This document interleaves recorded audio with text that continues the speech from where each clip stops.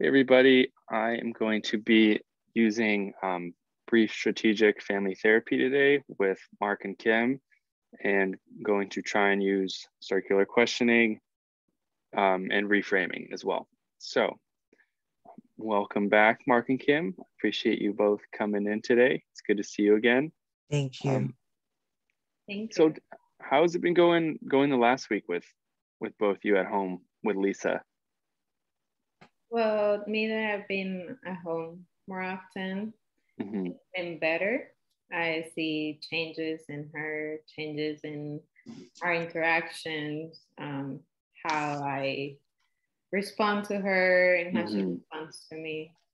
Um, there are some things that still I feel like we have to work on. Right. That they're not okay. She's still smoking. Right. And but still missing school so some some improvements at least in the communication department. Yeah. Yeah. I agree. She's um, been better at communicating with us and we've been better with communicating with her. Good. So in the last the last week um, i want to hear from both you but so um, what when lisa is acting out mark how have those interactions been going specifically? Um, if you can think of any times you said because she still is missing school um, how those played out at home. Well the other day um, she came home from school at the same time. Um, she seemed kind of tired. Off mm-hmm. Um, she didn't talk to me or anything went to her room and then i get a call from school that she wasn't there for her last period Mm-hmm. So I figured out that she was smoking with her friends, like she usually mm-hmm. does. So I went to her room and I didn't yell or anything, but I, I was pretty upset and I told her what happened and she tried to lie. Um, so it didn't go right. that well in that moment. okay. Um, and so, so Kim, how have, have you had any of those interactions with her? Um, I know you sometimes you're not not there quite as often, but I'd like to hear. On the weekends, I'm there, the weekends, and so yeah. it allows me that one-on-one time. And and she does try to pit the two of us against each other. Mm-hmm. She'll ask Mark something, or and then come ask me if he says right. no, or or vice versa. And um, I think we're asking a lot more questions like who, what, when, where.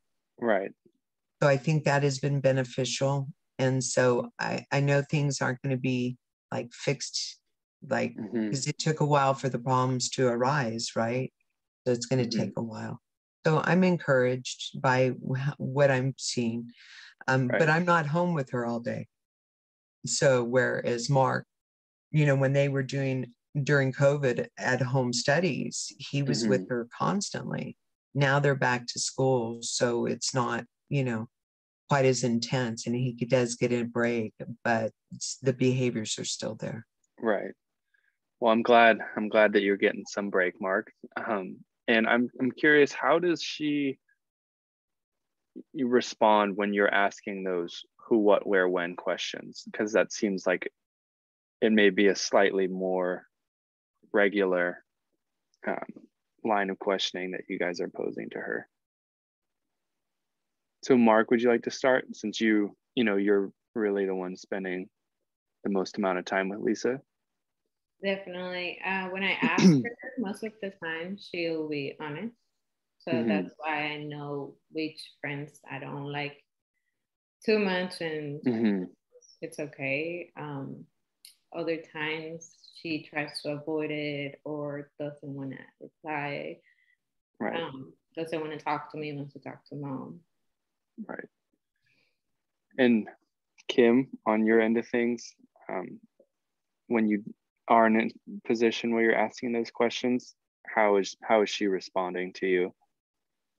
At first, she was defensive, but you know, I explained to her that that's part of my job is to parent her mm-hmm. and to make sure she's going to be safe. And so I think it's important that we implement that so we do know all those answers and we're right. not you know, just letting her do what she wants all the time mm-hmm. with who she wants. Because she knows we don't approve of, you know, certain friends. And so this allows us to know all the right. details we need to know. You know, absolutely. Um, and it sounds it sounds like both of you have been doing, you know, a great great job of following up with her since we've since we've been meeting together that you're really hammering home the who what where when um, with her you know so she's she's held accountable and i'm i'm also curious to hear kind of you know when when you do get pushback from lisa um, she's you know being a little more sassy butting heads a bit um, how, how do those conversations go between the two of you when you when you're discussing that behavior? I try not to bring emotion into the conversation because that kind of and then i think that kind of muddles it and then then kind of seeing it from her perspective mm-hmm. because i was once a teenager too like the rest of us and so we have to bring ourselves back to that perspective to really understand because it is a, a difficult time you know during our lives that teen those teenage years and so there's a lot of angst and and you know not you know they're finding themselves so it's important that i understand that and be supportive so i think it's just i think when i stand back and actually feel that way mm-hmm. and allow her to express i don't interrupt she's able mm-hmm. to express what she needs to all it and then we've learned that when she, you know she's done then it's my turn so mm-hmm. there's no over talking so that allows good right. communication too.